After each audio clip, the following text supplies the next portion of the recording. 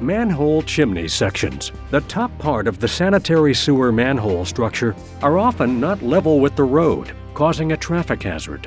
Manhole chimneys leak, causing high sewage treatment costs and overflows into lakes and streams.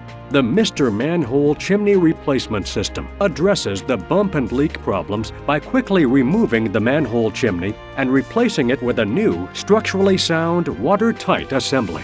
The speed plate is placed inside the manhole frame and functions as a centering point for the Mr. Manhole cutter extractor. Engineers agree that round repairs are far superior to square repairs. The Mr. Manhole cutter extractor enables a perfect round cut with full road penetration for a high quality repair.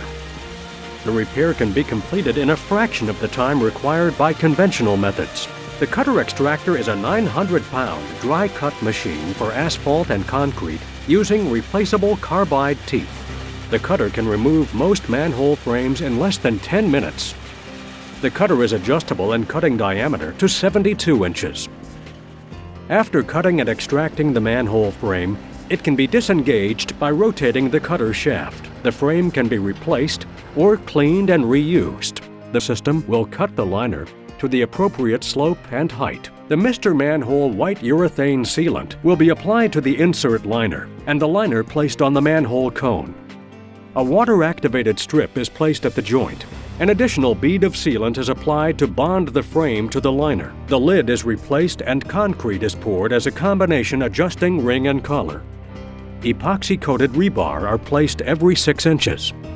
The concrete is consolidated with a vibrator. The concrete is smoothed and dyed black to match the surrounding pavement. A brushed finish is applied to the concrete.